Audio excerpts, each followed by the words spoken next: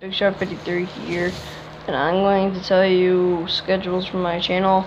I'm only going to do videos on the weekends, uh, Friday, Saturday, and Sunday, uh, three days, uh, two videos a day.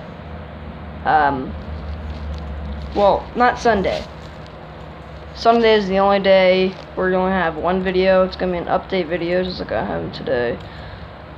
And I'm very tired, guys. I'm sorry. If you have any questions for a Q&A video for Saturday, then uh, comment down below for a question, and or just do it in the last Q&A. I really don't care. Um,